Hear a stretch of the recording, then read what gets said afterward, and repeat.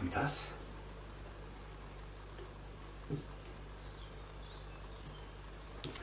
Die neuen Sticker. Die neuen Stickers auf unserer neuen Seite. Und da gibt es auch noch mehr Klamotte.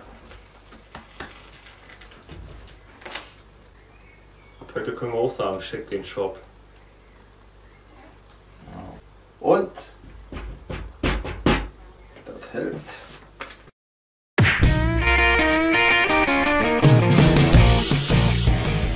Willkommen zu einer neuen Ausgabe von den Testoleros.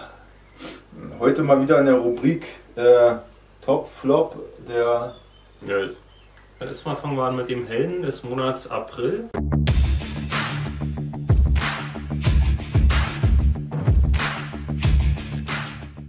Wir äh, hinken ganz schön hinter der Zeit hinterher, Oh ja. Das Aber- ist wohl wahr. aber es sind immer noch aktuelle Themen. So schnell läuft ja die Politik nie. Jetzt haben wir so ein kleines Thema äh, von wegen ähm, 3G-Einhaltung, Maskenpflicht etc., ähm, Gebrauch machen vom Hausrecht.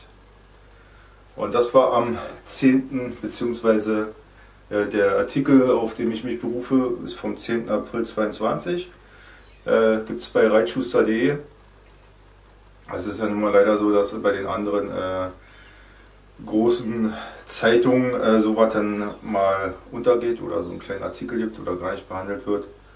Also von daher und dadurch, dass wir uns überall umgucken, rechts, links, oben, unten, vorne, hinten, was auch immer. Äh, jetzt geht es um ähm, einen Berliner Abgeordneten, ehemaligen Berliner Abgeordneten. Ähm, der ist auch Gewerkschaftsvorsitzender der Good Governance Gewerkschaft. Ja, jedenfalls der Marcel Lutte, äh, der wurde eingeladen ähm, nach Weißensee. Das Sea Fashion 22 an der Kunsthochschule Weißensee Berlin.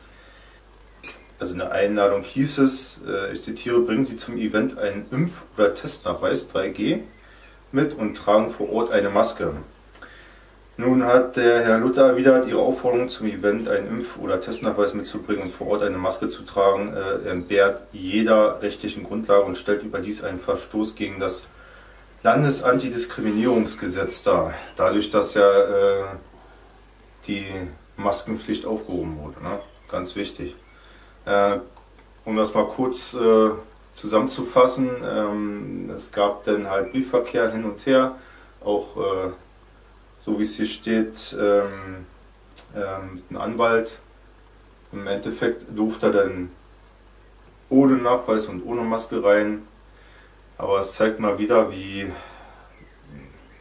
ich würde sagen, wie unsicher doch alle sind, obwohl es aufgehoben wird.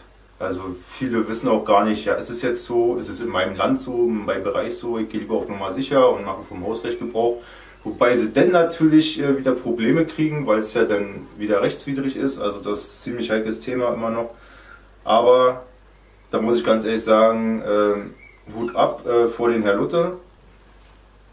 Dass er das so konsequent durchzieht, dann nichts ist wichtiger, als wirklich von seinem Recht Gebrauch zu machen. Nicht um die Leute zu gängeln oder zu ärgern, sondern einfach zu zeigen, okay, pass auf, das ist jetzt so, ich klage mein Recht ein, ich habe Recht.